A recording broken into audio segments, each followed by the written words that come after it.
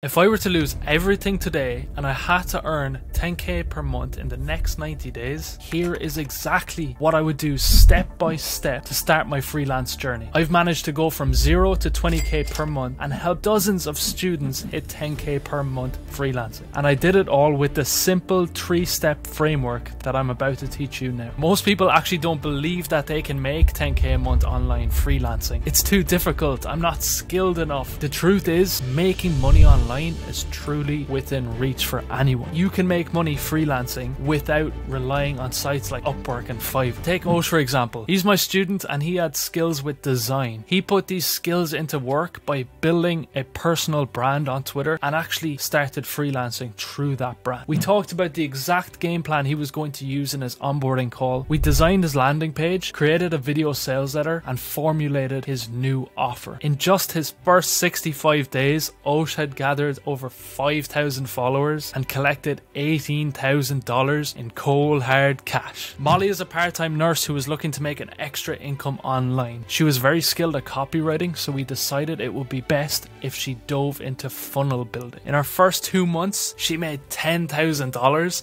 and gained 3,000 followers on social media. Step one is market research and skill matching. Now, you saw you need to figure out what service you want to sell, who you want to sell it to ensure that it's actually in demand. How do you discover in demand skill? Check out job posts to see what clients are desperately seeking. This could be copywriting, web design, automation, video editing. The list honestly goes on. Once you've picked your skill, now you need to think about who you're going to sell that service to. Remember, every skill is a potential gold mine. So ask, who's your ideal customer? What's their industry? What keeps them up at night? Those are the problems that you're going to solve. Dive into online courses, get lost in webinars. If you can, find a mentor as well. I run a one to one mentorship program where I help you scale your freelancing business. My website will be linked below in the description where you can get 24 7 access to me and a like minded community of freelancers. Before you go all in on any offer, just dip your toes. Charge a small price, maybe get some free clients, see if they're happy with your work. All this is important for building credibility and authority. You'll get valuable feedback and a better understanding of what you can offer. Once you've picked exactly what skill you're going to hone in on, you need to get free clients in exchange for testimonials. Step two is content creation. This is going to be how you're going to accumulate eyeballs onto your website. You need to understand your audience, dive deep into understanding their needs, their interests, and pain points of your target audience. Utilize tools like Google Trends to stay ahead of the curve. Engage with your audience through polls, surveys, comments, gather their ideas, and get feedback on all of them. In order to keep people engaged, engaged, you have to master hooks. This is what will make your content go viral. Ensure your hook is not just catchy, but relevant to your audience interests and needs. You need to be casting a wide net to accumulate attention. The best social media platforms to post on are YouTube, Twitter, Instagram, and TikTok. These are the most popularly used ones. When you convert these views from these platforms into email subscribers, you can pitch these people your offer down the road. That's when you can sell even more. Now, in the beginning, I don't recommend to post on all all platforms. You're better off focused on one